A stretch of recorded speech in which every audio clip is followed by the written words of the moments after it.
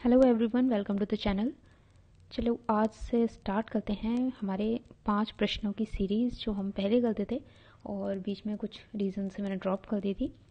तो आज तीन दिसंबर है। आज के आपके जो पाँच प्रश्न हैं, ये मैं आपके सामने ला रही हूँ।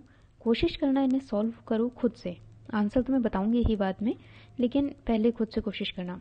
और टाइप मैंने इसलिए नहीं किया है क्योंकि मुझे टाइप से ज़्यादा अपनी राइटिंग में लिखना ज़्यादा फिजिबल लगा और टाइम भी कम लगा, ठीक है? चलो स्टार्ट करते हैं वीडियो छोटी ही बनानी है। फ़र्स्ट क्वेश्चन है, गान की दृष्टि से साम गीतों को कितने भागों में विभक्त किया गया है? साम गीत, यानी यहाँ पे वेदों से वर्णन पूछा गया है सामवेद के बारे में पूछा है। और कितने भागों में विभक्त किया है तो आंसर है इसका पाँच। सेकंड है, पार्श्वदेव ने श्रुतियों के कितने नामों का उल्लेख किया है? ठीक है? तो इनने किया है बाईस, चौवालीस, पचपन या फिर छियासठ आंसर है, सिक्सटी सिक्स। नेक्स्ट है, वर्णों की संख्या कितनी बताई गई है?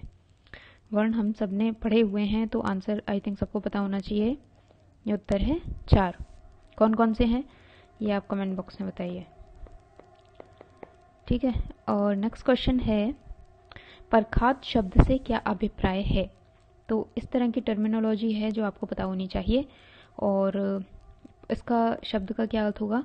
अतिमंद्र, मंद्र, तार या अतितार। तो उत्तर है इसका अतिमंद्र। मतलब एक तो मंद्र होगा, एक मध्य होता है, एक तार होता है, ठीक है? लेकिन मंद्र में भी एक अतिमंद्र होगा तो वो है परखाद लास्ट क्वेश्चन है हमारा अर्धमागधी क्या है? अर्धमागधी मैंने गीति के बारे में अपने कुछ वीडियोस में बहुत अच्छी तरह एलेबोरेट किया है।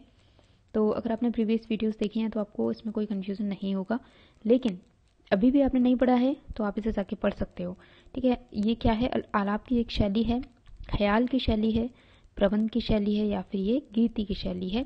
आंसर है हमारा गीति शैली।